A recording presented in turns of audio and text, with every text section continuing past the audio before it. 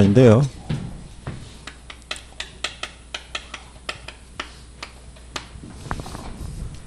음, 교재 보시면은 투자란 현재 확실한 소비와 미래 불확실한 수익을 교환하는 행위다라고 이렇게 구성이 돼 있죠. 일반적으로 우리가 은행에다가 돈을 예치한다는 얘기는요. 음, 현재 소비를 참는다는 얘기죠. 그래서 미래 더 큰 소비를 위해서 현재 소비를 우리가 참는 대가로 은행에서는 이자를 주죠. 그렇죠? 근데 거기서 받는 이자 수익은 확실하죠. 우리가 뭐 은행에 가서 청소를 해준다고 이자를 받는 게 아니라 매달 일정한 게 날이 되면은 이자가 들어올 거 아니에요, 그죠? 근데 부동산에 투자하게 되면 수익이 보장이 안 되죠. 미래 발생하는 수익에 대해서. 그러니까 이 투자라는 것은 아, 미래 불확실한 수익을 위해서 현재 확실한 소비를 희생한다. 그래서 어, 투자론에 보면요, 이거는 어, 현금 수입하고 어, 현금 지출을 교환을 하는 게 이제 투자라고 할 수 있을 때 지출은 현재 발생해요. 음, 근데 이 수입은 언제 발생하냐면 이건 미래 발생하죠.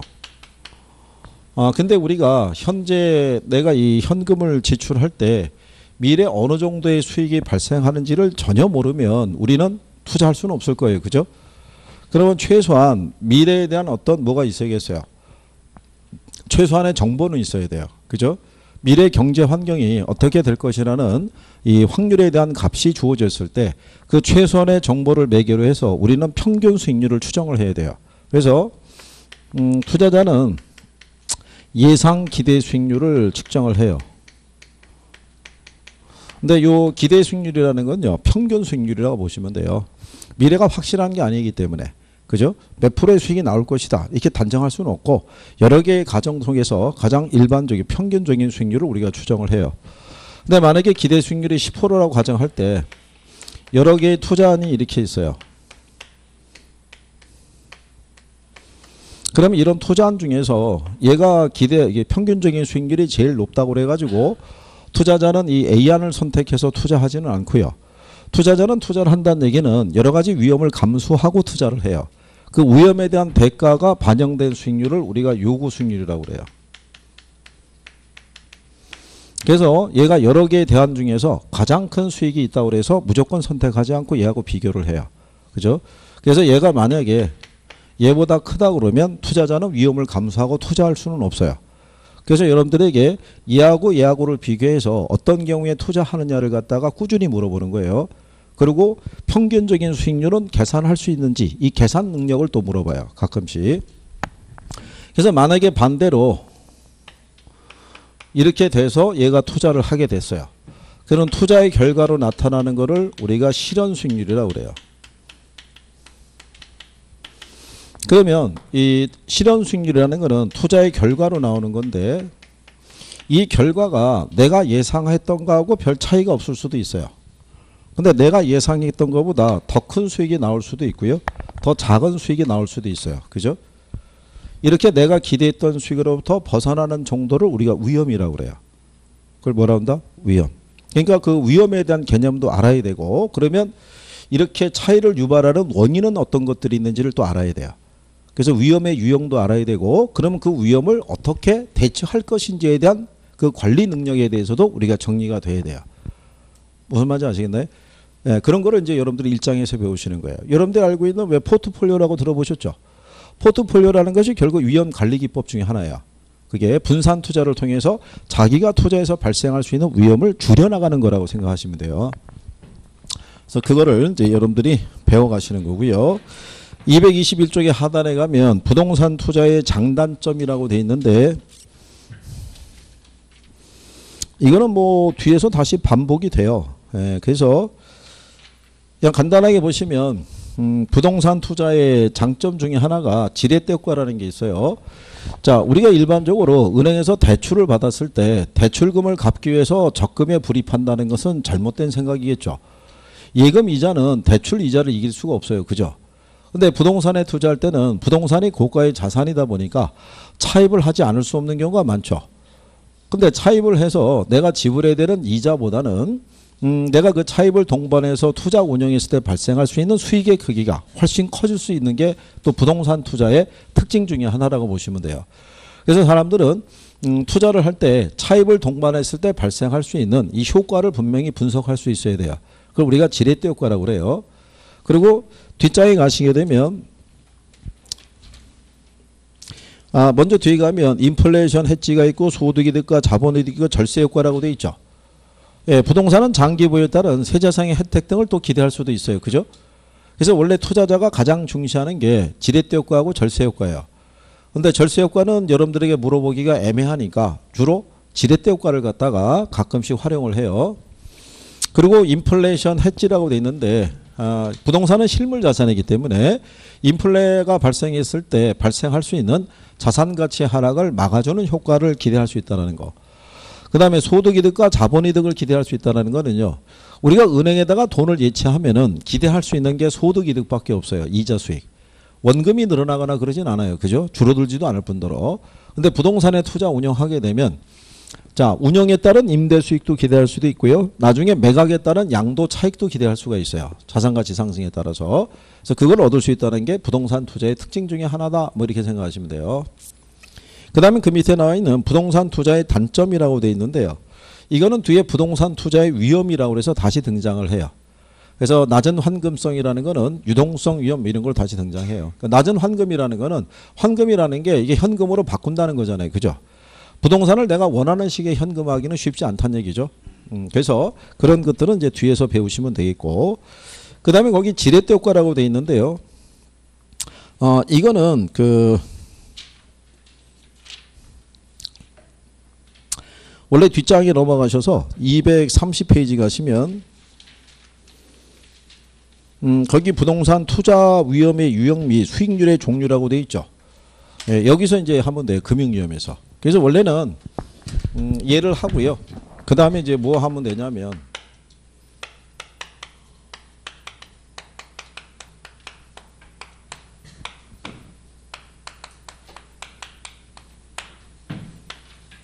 음, 여기를 이제 하시면 되죠. 위험과 수익. 그래서 제일 먼저 부동산 투자의 위험이에요.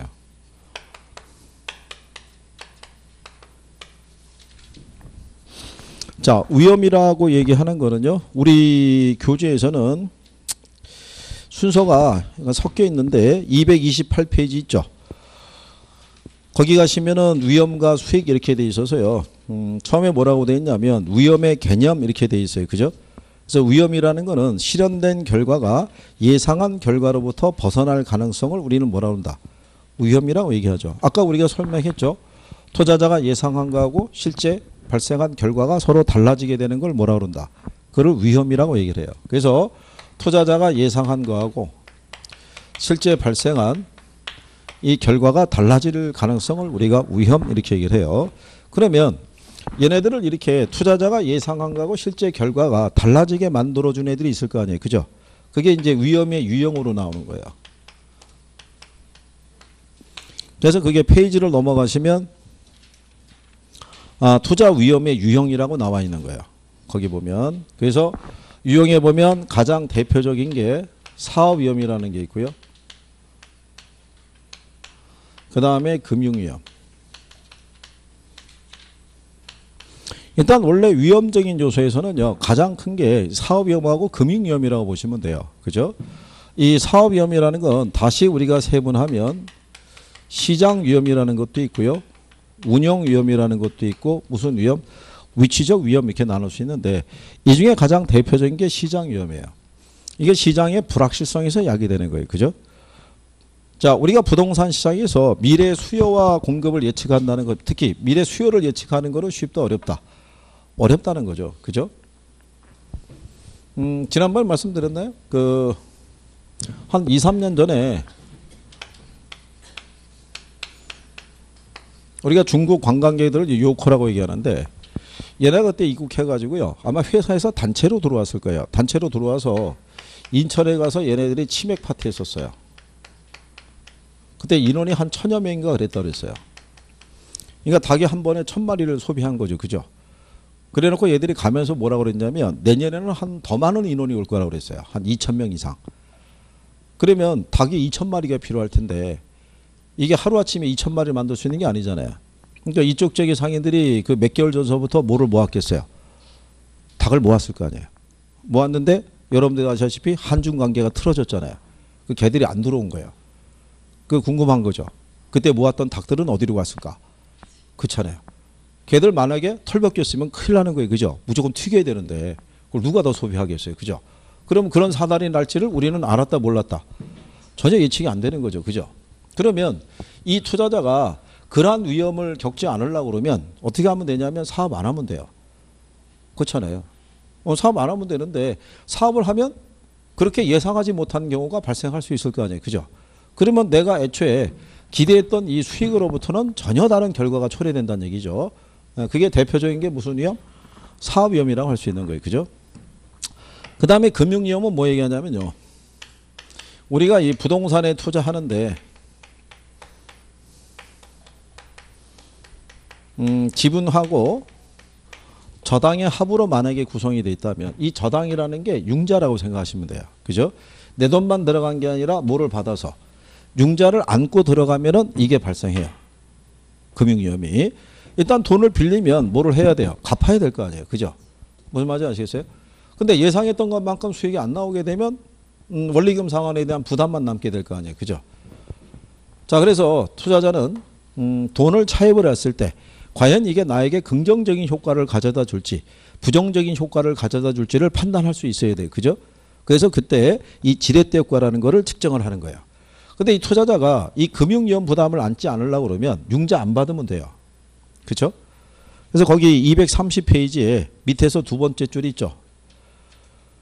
230페이지 밑에서 두 번째 줄에 가면 투자 금액을 전부 자기 자본으로 조달했을 때는 금융적 위험은 존재하지 않는다 이렇게 돼 있는 거예요. 그러니까 돈을 차입을 하면 무슨 위험을 발생해요? 상환에 대한 부담이 발생하는 거예요. 차입하지 않으면 금융 위험은 존재하지 않는 경우. 그래서 그거를 우리가 이제 측정하는 게 앞에 주로 돌아오시면 거기 223페이지에 지렛대 효과라고 돼 있죠. 네, 그거를 측정하는 거예요. 그래서 이 지렛대 효과에 대한 거는요. 일단 별표는 하나 하시는 거예요. 지렛대 효과는.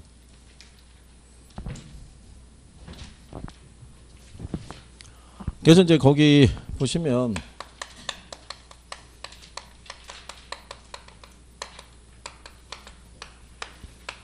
뭐 지렛대 효과 또는 레버리지 이펙트라고 해서 예, 표현하는데 이 지렛대 효과라는 것은요. 어, 타인 자본을 이렇게 조달했을 때, 어, 이 부채 비율의 증감이 음, 자기 자본 수익률에 미치는 영향이 있죠.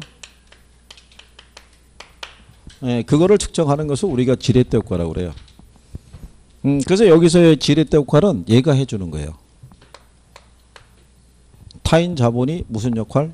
지렛대 역할을 해준다고 보시면 되겠죠.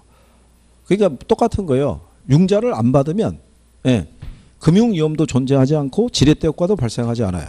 근데 돈을 차입을 하면 금융 위험의 부담도 있지만 무슨 효과? 지렛대 효과에 대한 것도 역시 같이 발생한다고 생각하시면 되죠. 음, 그래서 얘가 그 종류를 이렇게 나누면요. 음, 수익금에 의한 지렛대 효과도 있고요. 어, 수익률에 의한 지렛대 효과로 나눌 수 있는데 수익금에 의한 지렛대 효과는 왜 전세를 안고 투자하는 경우 있죠. 네, 그런 게 이제 수익금에 의한 지렛대 효과라고 생각하시면 돼요. 간단하게. 예를 들어서 여기 2억짜리 부동산이 있어요. 근데 이거를 전액 내 돈으로 투자했어요. 그때 얘가 만약에 2억 5천으로 상승하면 나는 2억을 투자해서 5천의 수익이 발생한 거잖아요. 그죠? 예, 네, 그러니까는 뭐 수익률에 대한 관계는 그다지 크지 않으면 한 25% 이렇게 나오는데 내가 여기에 만약에 1억의 전세가 있어요. 그럼 나는 얼마만 투자하면 돼요? 1억. 네, 예, 그래서 만약에 얘가 2억 5천을 올랐다 그러면 그죠? 그러면 1억 투자해서 5천 번 거잖아요. 그죠? 차입에 대한 이자의 부담은 없고 그 주변에 보면 전세 안고 주택 이렇게 여러 채 갖고 있는 사람들도 있잖아요. 그죠? 그, 그 사람들은 자기 표현대로 이게 지렛대 효과를 보는 거다라고 생각하진 않아도 네, 그냥 본인 스스로 그렇게 하고 있는 거죠. 그 다음에 이 수익률에 의한 지렛대 효과라는 것은요.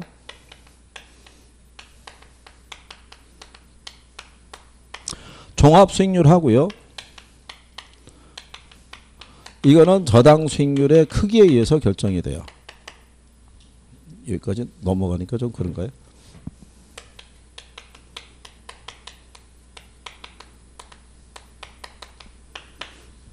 그래서 우리는 계산을 해보지 않더라도요. 종합 수익률하고 저당 수익률의 크기를 비교하면 이게 정해 레버리지인지 부의 레버리지를 확인할 수 있어요. 그죠? 거기 여러분들이 그 내용 있잖아요. 223페이지. 지렛대 효과가 있고 양가로 1번이 의이고 양가로 2번이 내용이라고 돼 있잖아요. 그죠? 음, 그럼 거기 보면 뭐라고 돼 있냐면 지렛대 효과는 차입금 사용에 따른 이자의 크기와 차입금을 사용해서 얻을 수 있는 수익률의 크기에 따라 달라진다 이렇게 돼 있잖아요. 그죠? 그래서 차입금에 대한 이자율이 이자율보다 총 자본 수익률이 높을 때는 정의 지렛대 효과가 발생하는 거예요. 요 밑으로 쓰면은 잘 안 보이시겠죠? 그러니까 이런 거죠.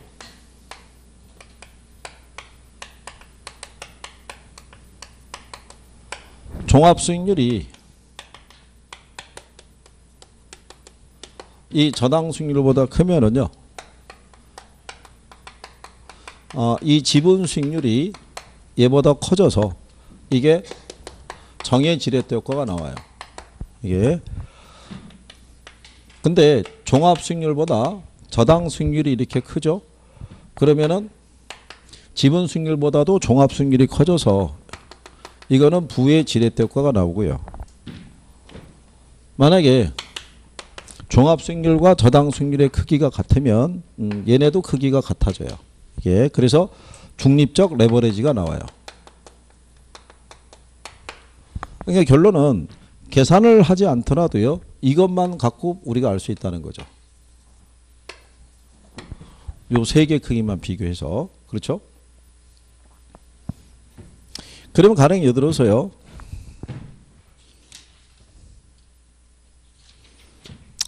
아, 여기서 얘기하는 종합 수익률이라는 게 있어요.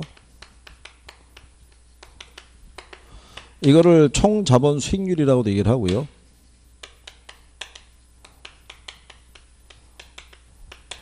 뭐 종합 자본 환원율 나중에 뭐 여러 가지로 얘기하죠. 음, 이건 말 그대로 종합 수익이잖아요. 그죠? 그러니까 이거는 총 투자액에 대한 음, 순 영업소득의 크기로 우리가 구하는 거예요. 그러니까 이게 종합이라는 얘기는 이게 총이잖아요. 여기 투자 들어간 돈이 내 돈만 들어가는 게 아니라 모두 빌린 돈도 같이 들어갔다는 가정이죠. 음, 여기에서 발생한 수익의 크기를 백분율로 표시한 거예요. 그러면 이제 음, 음, 지분 수익률이라고도 얘기를 하고요. 음, 자기 자본 수익률이라고도 얘기를 해요. 이거는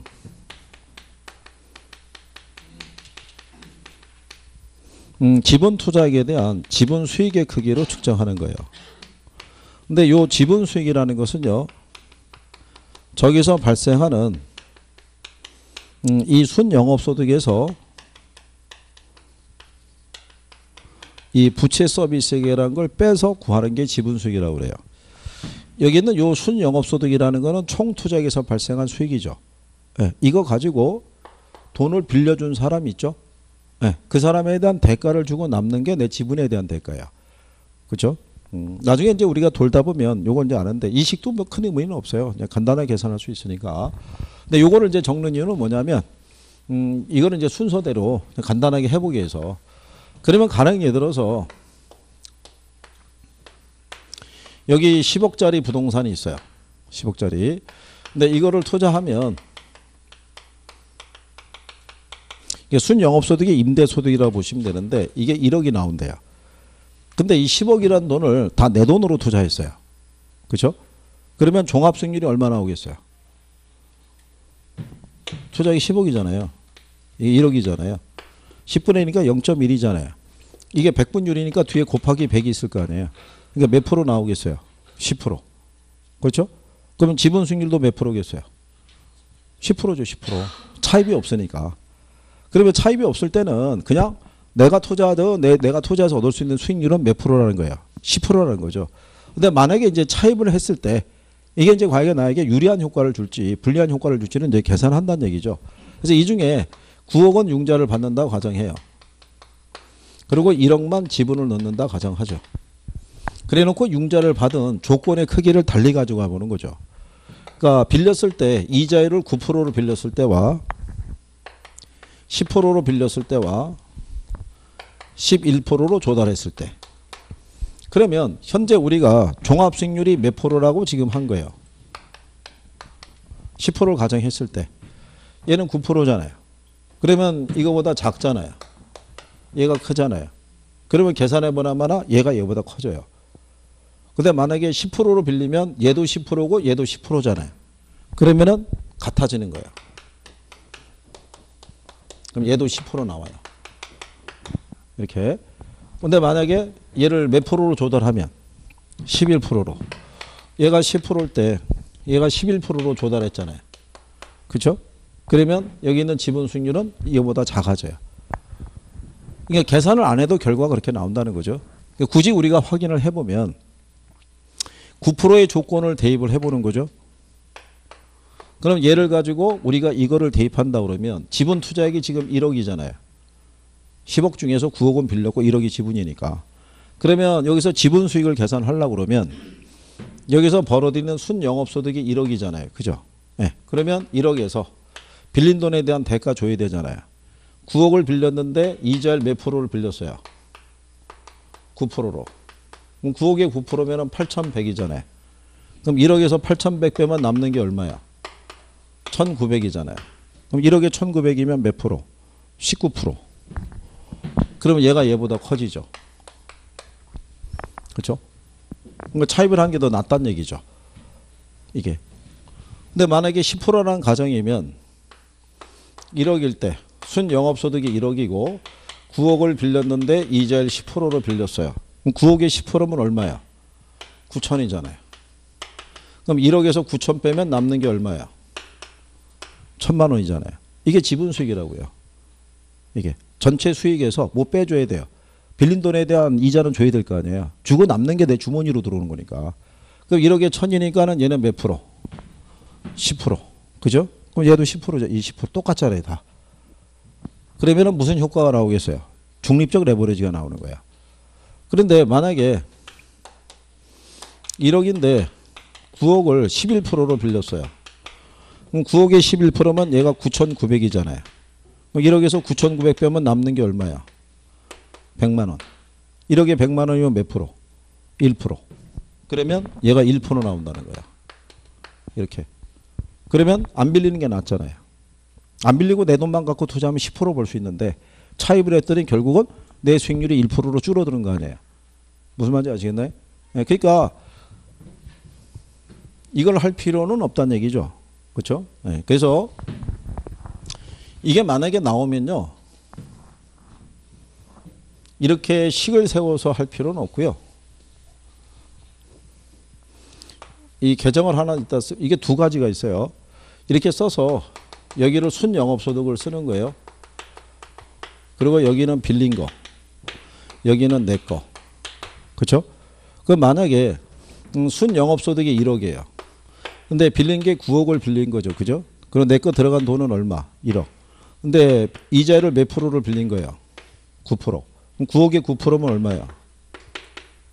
8,100이잖아요. 그럼 1억에서 8,100 빼면 얼마야?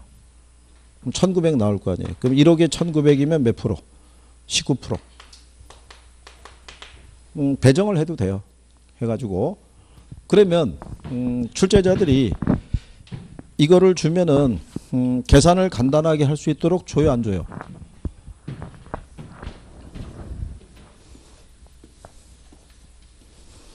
음, 이렇게 줘요. 음, 총 투자액이 3억이고요. 음, 차입을 2억을 해요. 2억을 하고 아, 이자율은 6% 조건으로 줘요. 그리고 어, 만기 상환 조건으로 줘요. 그리고 투자한 돈이 얼마냐면 1억이에요. 지분이. 음, 이 상태에서 1년간 자기 자본 수익률을 구하라고 그래요. 이 상태에서. 그러면 이걸 식을 세곤 하기가 힘들면 계정을 하나 써서 여기는 순영업소득을 쓰는 거예요. 여기서 주는 순영업소득이 얼마 줬냐면 2천 줬어요. 이 문제에서. 그러면 순영업소득이 얼마야? 2천. 여기는 빌린 쪽으로 놓고 여기는 내 지분을 놓는 거죠. 그러면 지분은 1억이고 빌린 돈은 얼마예요? 2억. 이게 나눌 수 있을 거 아니에요. 근데 빌렸는데 이자를 몇 프로를 빌렸어요? 6%로. 그럼 2억에 6%면 얼마야? 이거 지금 식을 하기 위해서 이거 적어드리는 거예요. 나중에 익숙해지면은 그냥 암산으로 돼요. 2억에 6%면은 1200이잖아요. 그러면 2000에서 1200 빼면 남는 게 얼마? 800. 1억에 800이면 몇 프로요? 8% 8% 8%가 답이라고요. 이 문제. 이 기출이에요, 기출. 예? 그러니까 저기 있는 식을 세워가지고 분모에 뭐 이렇게 할 필요 없이 이거 그려서 나중에 익숙해지면은 출제자들이 암산으로 계산할 수 있게끔 배열을 맞춰준다고요. 요령을 알면. 그럼 몇 분 안에 풀 수 있는 거예요. 1분 안에 풀 수 있게끔 해주는 거예요. 배열을 다 맞춰서 줘요. 맞춰서. 그러니까 계산 문제라는 거는 1분 안에 값이 나와야 돼요. 무슨 말인지 아시겠어요? 계산을 하는데 2분, 3분 걸리면 그건 버려야 돼요. 예, 걔를 풀어봐야 의미가 없어요. 그렇잖아요. 시간 싸움인데 그렇지 않겠어요? 그리고 나중에 어, 226페이지 가보세요. 226페이지 가시면 거기 하단에 2번 있죠. 자, 부동산 투자에 따른 1년간 자기 자본 수익률을 물어봤죠. 거기 조건을 보면 투자 부동산 가격이 3억 원이잖아요. 대출이 2억 원이고 자기 자본이 1억 원이죠. 예, 그러고 난 다음에 거기 보면은 1년간 순 영업소득은 2천만 원 이렇게 주어져 있잖아요. 그죠? 그럼 나중에 익숙해지면 어떻게 되냐면 빌린 돈이 2억 원인데 6%를 빌렸잖아요. 그럼 2억 원에 6%면 1200이잖아요. 그러면 2000에서 1200 빼면 남는 게 800이잖아요. 그죠? 그럼 내가 투자한 돈이 1억이잖아요. 지금 저거 하는 거예요. 저거 칠판에 있는 거. 그럼 1억에 800이니까 8% 나올 거 아니에요. 그죠? 그 나중에 익숙해지면 그냥 암산으로 가는 거예요. 그냥 쭉 해서. 뭐 식을 세우고 할 필요는 없는데 그나마 이쪽보다는 이게 조금 더 간결하니까 이렇게 해드리는 거예요. 근데 얘네가 그 근래는 여기까지도 써요. 뭐를 구할 때? 아, 지분 수익률 구할 때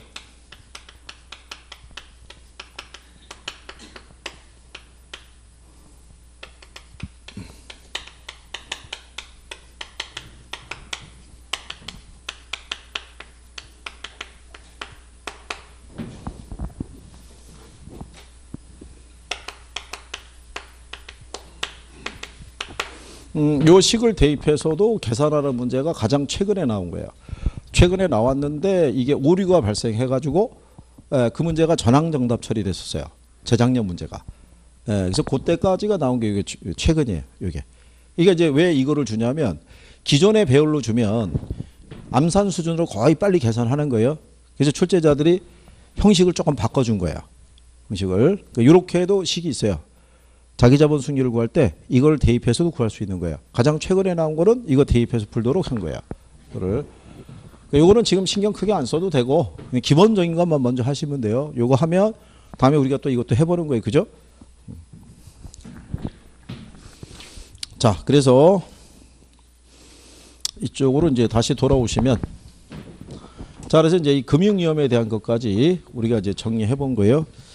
그 다음에 이제 231페이지 가면 법적인 위험이라는 게 있고, 그죠? 음, 그 다음에 인플레이션 위험이 있어요. 그것도 요즘 시험상에서 한 두 번 인용이 됐으니까.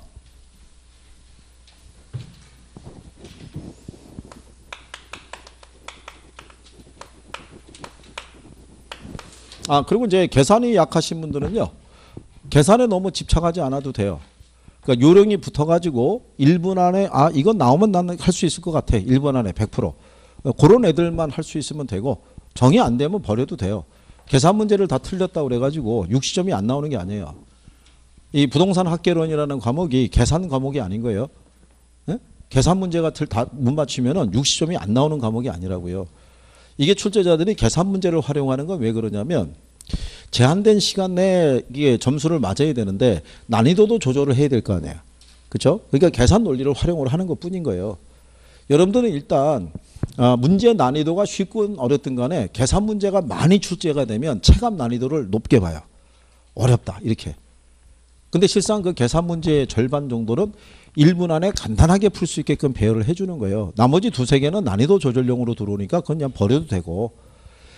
그러니까 계산 문제가 많이 나오면요. 이론이 쉬워요. 이론이. 근데 이제 사람들이 계산 문제에 휘말리다 보니까 당황하는 거죠. 아무리 와도 올해 시험은 틀렸나 봐. 이렇게 가는 거죠. 그러면서 이제 혼자 여행을 떠나는 거죠. 뭐. 그냥. 그러니까 차분하게 대비하시면 돼요. 자, 여기 인플레 위험이 있을 때요. 옛날에 학창 시절에 배웠잖아요. 인플레가 발생하면은 화폐의 실질적인 가치가 떨어지죠. 그러면 돈을 빌려준 사람이 있고 빌려 쓴 사람이 있으면 누가 불리해요? 빌려준 사람이 불리하잖아요. 그죠? 그래서 이 대출자들은요. 여기서 얘기하는 대출자는 부동산에서 얘기하는 대출자는 금융기관 생각하시면 돼요. 돈을 빌려주는 사람이 있죠. 이게 한문을 씀에 따라서 대출자의 의미가 달라질 수 있어요. 돈을 빌려준 사람도 되고 빌려 쓴 사람도 될 수 있는데 부동산학에서는 한문 써가지고 그 구별하진 않아요. 그러니까 여기서 대출자는 은행을 얘기를 하는 거예요. 그러니까 이 사람들은 돈을 빌려줄 때 고정 이자율로 대출해 줄 수도 있고 변동 이자율로도 대출해 줄 수 있다 그러면 뭐를 선호하겠어요? 에? 이걸로 무슨 이자율로? 변동 이자율로. 그래서 인플레 등에서 발생하는 그죠? 화폐 가치 하락에 따른 손실을 누구에게 전가시킬 수 있어요? 차입자에게. 그죠? 그래서 돈을 빌려주는 사람이 대출자, 빌려 쓴 사람을 차입자라고 명시를 해요. 시험 문제도 그렇게 나와요. 그 다음에 투자자가 있어요. 아, 이 투자자는요, 인플레 위험에 어떻게 대처하냐면, 이거를 높여서 대처해요. 뭐를? 요거 승률을. 이건 이제 좀 이따 이제 뒤에 나오는 거예요. 이때 이제 요 투자자라는 게요.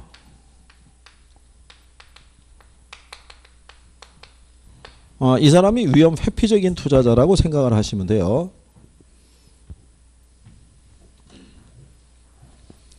나중에 뒤에서 해요. 이제 요건 이제 그렇게만. 그래서 요거 시험에서 두 번 나온 거니까 그 정도. 그 다음에 거기 5번에 있는 유동성 위험은요. 아까 얘기한 여러분들이 왜 낮은 환금성 이렇게 했었죠. 자, 부동산은 이 유동성이라는 게 떨어진다고 보시면 되겠죠. 그죠? 가령 예를 들어서 내가 2월 15일까지 5억이라는 돈이 필요해요. 근데 가지고 있는 거는 뭐밖에 없냐면 부동산밖에 없어요. 그렇죠? 예. 근데 이제 가지고 있는 이제 부동산이 이게 만약에 시가가 예를 들어서 한 8억짜리다. 어, 이렇게 가정하는 거죠. 그러면 얘를 처분하면은 5억을 마련할 수 있잖아요. 그렇죠? 근데 얘를 갖다가 불과 열흘 사이에 이걸 처분한다는 보장이 있어요, 없어요? 없죠. 그러면 얘를 갖다 현금화해야 될 텐데 얘를 한 2천만 원 싸게 내놨다. 그럼 팔려 안 팔려요? 안 팔리죠. 그죠?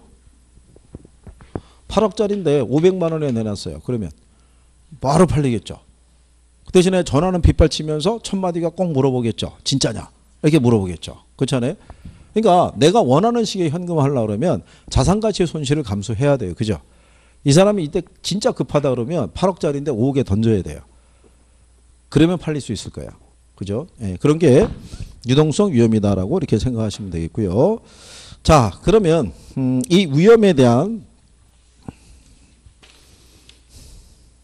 부분에서 그 이걸 참 순서가 애매하게 해놨군요. 아, 뒤에 가면 일단 수익률이 있어요. 그 밑에 가면 일단 수익률까지 하고요. 앞에 것도 처리하죠.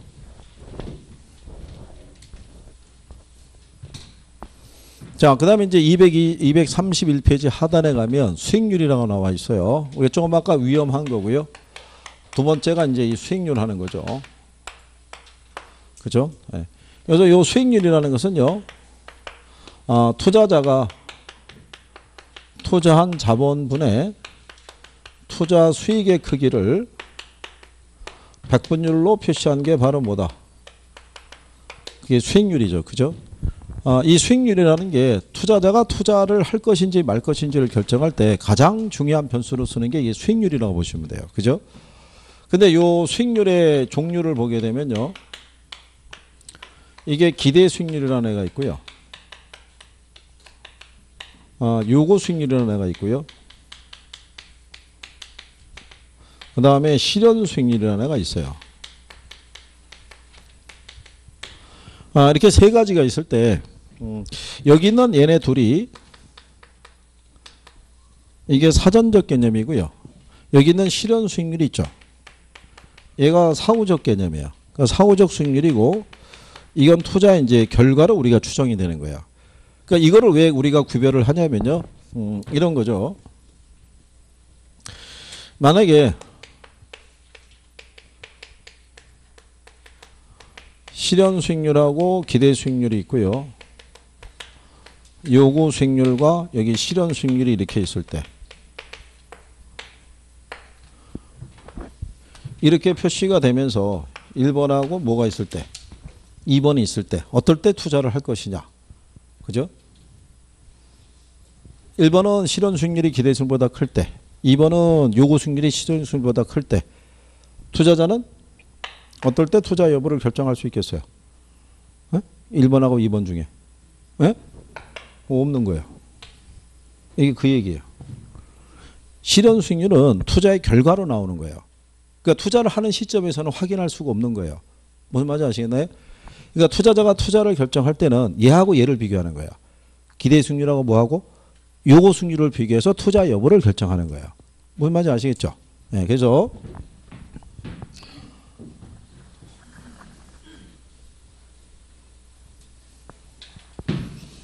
자 그러면 요 기대 수익률이라고 얘기하는 애는요 투자로부터 예상되는 이 수익과 지출을 토대로 계산하는 수익률이에요. 그죠?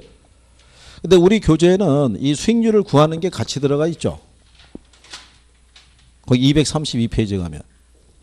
상단에. 그죠? 네. 그러니까 이거는 이게 투자로부터 예상되는 어, 수익과 지출을 토대로 계산한 거죠. 1억을 투자해서 경비 제하고 2천만 원의 수익이 발생했다는 것은 기대 수익률이 20%가 된다는 얘기잖아요. 뭐 그런 개념인 거예요. 그리고 다른 말로 내부 수익률이라고도 얘기를 하는데 음, 엄밀히 말하면 둘은 같지는 않아요. 근데 중개사 시험에서는 같다고 보는 거야. 이게 이게 만약에 학교에서 배우면 이게 서로 같다고 그냥 하다가 대학원 정도 가면 틀리다고 가르쳐 줘요. 이게 그래서 이게 내부 수익률이라고 얘기를 해요. 근데 여기 우리 교재에는 기대 수익률을 구하는 거를 여기 안에다가 표현해 놨는데 기대 수익률을 계산하는 거는 그냥 간단하게 줘요. 그죠? 그 기대 수익률을 계산하는 공식은요.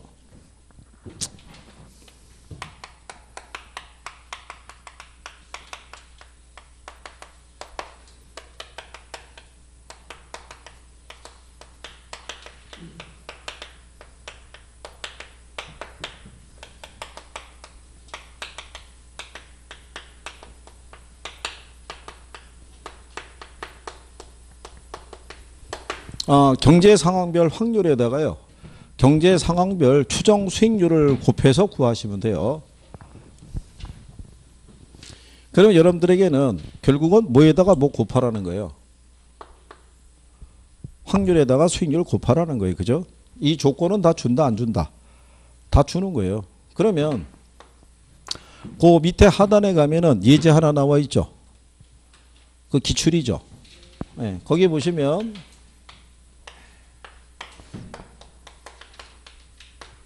아, 맨 왼쪽에 나오는 게 뭐냐면 경제 환경 변수라고 돼 있죠.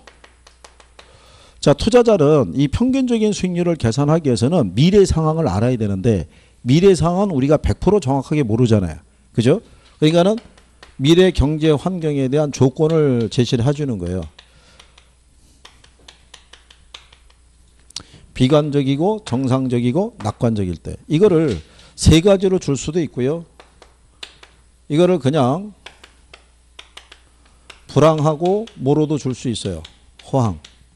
그 얘는 그냥 정상. 그렇죠? 그러니까 요렇게 조건을 주든가 요렇게 조건을 주든가 둘 중에 하나야. 그죠? 이렇게 출제하는 출제자가 있고 이렇게 내는 출제자가 있어요. 그 여기 보면 이 경제 환경에 따른 확률이 주어져 있어요. 그죠? 뭐 여기 보면 뭐가 있다?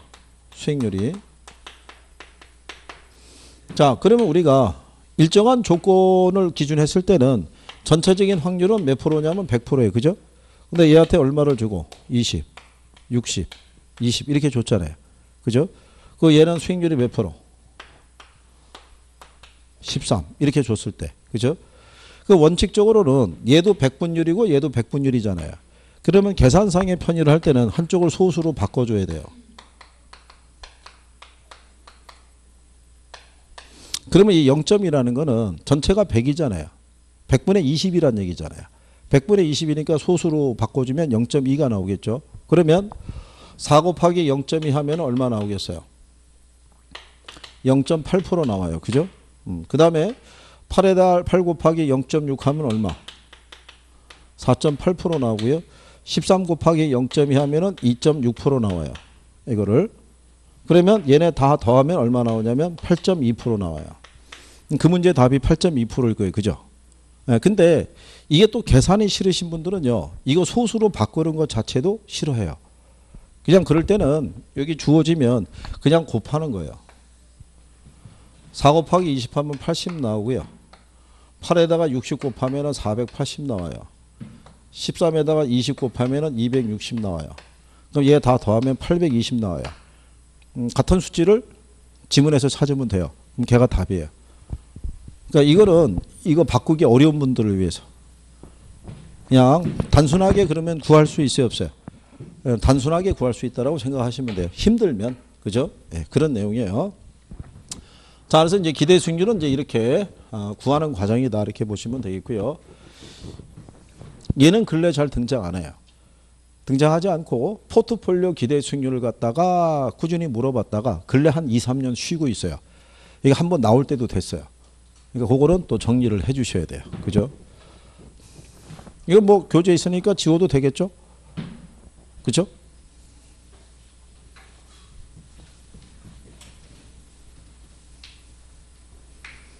자, 그 다음에 이제 요구 수익률이 있어요. 요구 수익률은 다른 말로 외부 수익률이라고도 얘기를 하고요. 이게 투자 자본에 대한 기회비용의 성격을 갖고 있고요. 음, 투자를 하기 위해서 충족되어야 할 최소한의 수익률을 우리는 뭐라 그런다? 요구 수익률이라고 그래요. 요구 수익률. 자, 그럴 때 그 심지어 근래는 하도 많이 이쪽에서 문제 내다 보니까 이게 최소한의 수익률인데 이걸 최대한의 수익률로 틀리게 준 적도 있어요. 최대한의 수익률 그러면 틀려요. 최소한의 수익률이다 이런 얘기죠. 자 그러면 음, 우리가 여기서 중시해야 되는 거는요. 그 밑에 중간에 가면 양가로 3번에 기대 수익률과 요구 수익률의 관계라고 돼 있죠. 거기 찾으셨나요? 예, 거기를 별표해야 돼요. 그거를 물어보는 거예요. 그거를.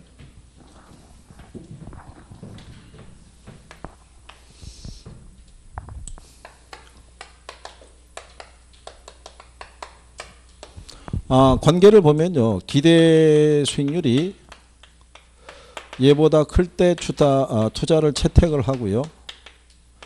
얘보다 작으면 투자를 뭐를 해요? 기가. 둘이 같으면 무슨 상태다? 네, 균형 상태라고 얘기를 해요. 그러면 우리 지난번에 입문할 때 한번 이렇게 해드린 거, 입문할 때 했나요? 음. 여기 만약에 10억을 예, 투자를 하게 되면 경비 제하고 한 1억 정도의 수익이 발생하는 부동산이 있어요. 그러면 10억을 투자해서 1억을 벌 수 있으면 이 부동산에서 기대할 수 있는 수익률은 몇 프로다?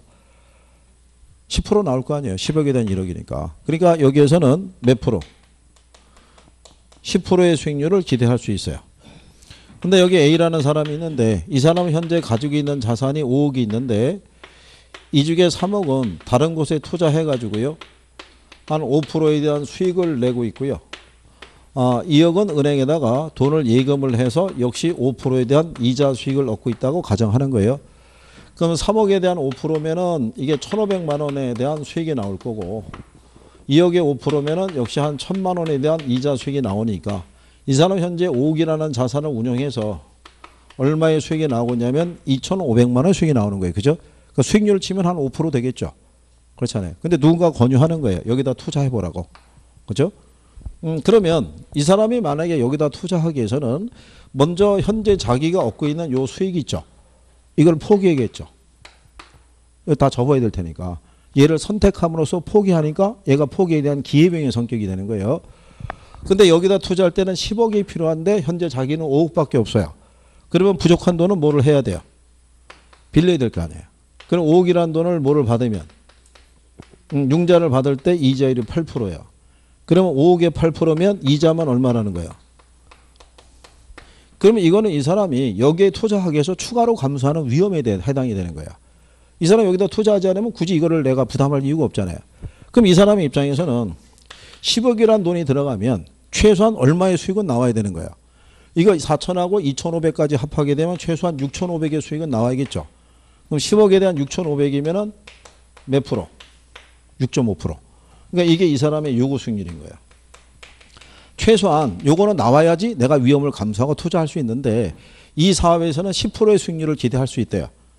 그럼 내가 감수하는 위험보다도 더 큰 수익을 기대할 수 있잖아요. 그럼 나는 투자를 채택할 수 있다는 거예요. 근데 내가 만약에 요구하는 수익이 1억 6,500이에요. 그러면 수익률이 16.5%잖아요. 근데 여기서는 10%밖에 기대할 수 없으면 나는 굳이 위험을 감수하고 투자할 이유가 없다라는 거예요. 뭔 말인지 아시겠나요? 그러니까 이거는 요거를 납득을 시켜드리기 위해서 선생님이 이렇게 구성을 해서 알려드리는 거예요. 실전에서 이걸 가지고 뭐 인용하거나 그런 건 아닌 거예요.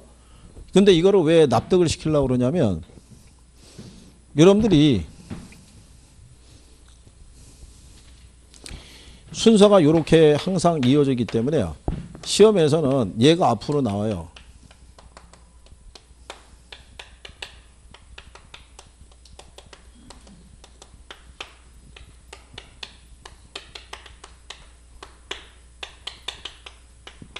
요거 수익률이 기대 수익률보다 작을 때 있죠. 예, 투자해야 해요. 요거 수익률이 기대 수익률보다 작으면 투자한다 안 한다. 이게 이거보다 작다는 얘기는 얘가 얘보다 크다는 얘기잖아요. 이죠 이 경우잖아요. 이 경우. 그죠? 그러니까 우리는 지문으로 할 때 이렇게 배웠으면 항상 얘가 먼저 나와야 돼요. 그래야지 표현이 익숙한 거예요. 얘가 앞으로 나오면 갑자기 애들이 달라 보이는 거예요. 그죠? 그리고 틀리는 거예요. 근데 이게 정상적이면 안 틀려요. 근데 시간의 압박을 받을 땐 틀려요.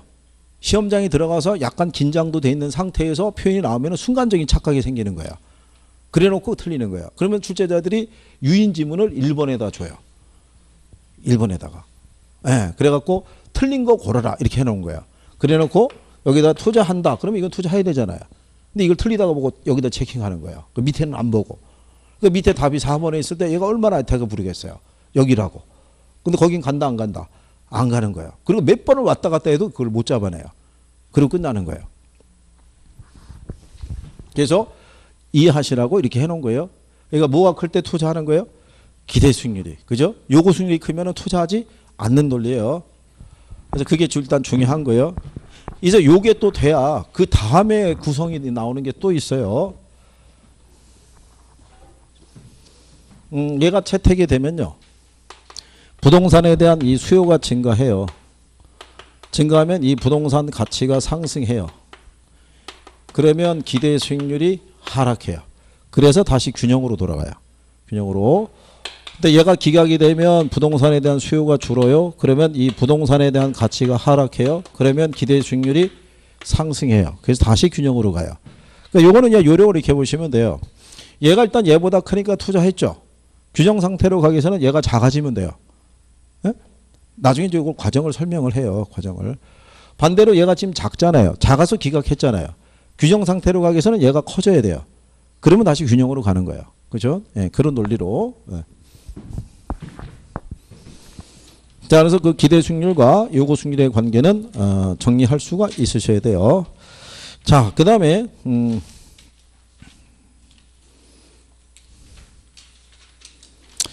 아, 거기 보시면 그 234페이지에 위험과 수익의 이 관계를 우리가 또 이제 정리를 해야겠죠.